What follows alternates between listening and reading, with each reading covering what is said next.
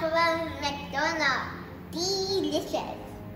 McDonald's is a company of food, junk food. McDonald's serves fast food and junk food. Fast food means food that come out fast.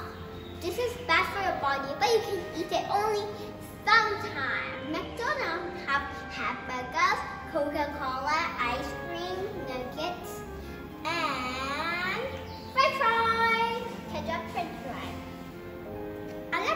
nuggets and french fries, but I don't like hamburgers.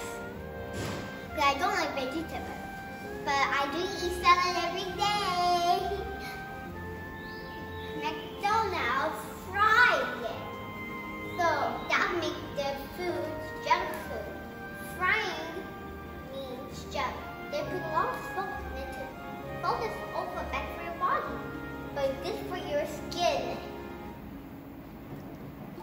Bye bye. Thank you for watching this video.